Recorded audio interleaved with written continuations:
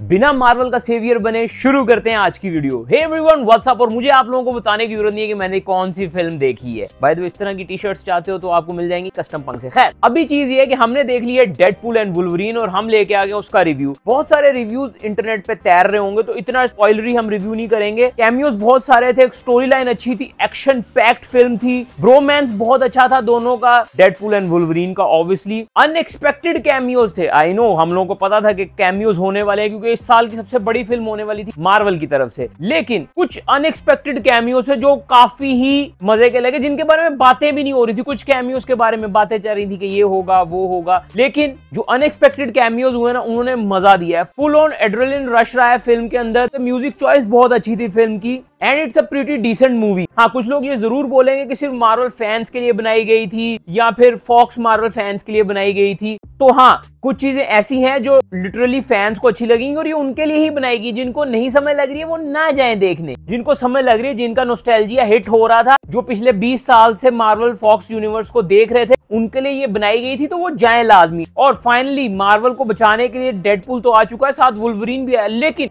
जो कैमियोज है एक मोन्टाज होता है, उसमें दो तीन कैमियोज होते हैं, फिर उसके बाद कुछ एक्सटेंडेड कैमियोज हैं तो काफ़ी मज़ा देती है फ़िल्म अब ऑन दी अदर हैंड कुछ लोग बोलेंगे कि यार, इतने कैमियोज भी नहीं थे, कोई इतनी ओवर द टॉप फ़िल्म भी नहीं थी। तो यार ये फ़िल्म जो होती है ना, वो हर करेक्टर के ऊपर उसके एस्पेक्ट्स को लेके बनाई जाती है। तो डेड का जो एसेंस था ना, और जो वुलवरीन का एसेंस है, वो इसमें बरकरार रहा है तो मुझे कोई गम नहीं है। हाँ कुछ लोग ये भी बोलेंगे कि यार, इसी तरह की दो साल पहले फ़िल्म आई थी doctor Strange and multiverse of the madness उसने अपने टाइटल को जस्टिफाइड नहीं किया था। मल्टीवर्स में इतने सारे करेक्टर्स नहीं थे। लेकिन यार, उसमें भी अच्छे खासे कैमियोज थे। बात सिर्फ़ इतनी है कि वो फ़िल्म भी अच्छी थी, ये फ़िल्म भी अच्छी थी, मुझे दोनों फ़िल्में अच्छी लगी थी। लेकिन चीज़ ये है कि ये ज़्यादा अच्छी क्यों लगी? क्योंकि इसमें डेड ने वो एक माहौल और समा बांधे रखा है। ओवरऑल मुझे फ़िल्म बहुत अच्छी लगी। स्टोरी में कुछ फ्लॉज थे नो डाउट कुछ चीज़ें हिट एंड मिस भी होती हैं ऑब्वियसली एंड उसके बाद जिस तरह ये यूनिवर्स बनता जा रहा है तो इनकर्जन तो होने वाला ही है, जिसकी वजह से हमें शायद अवेंजर वर्सेस स्पाइडरमैन क्यों कह रहा हूँ? अवेंजर्स वर्सेज एक्समैन देखने को मिल जाए और जिसके बारे में हो सकता है कॉमिकॉन में अनाउंसमेंट भी हो जाए तो मच वेटेड कॉमिकॉन है ये वाला।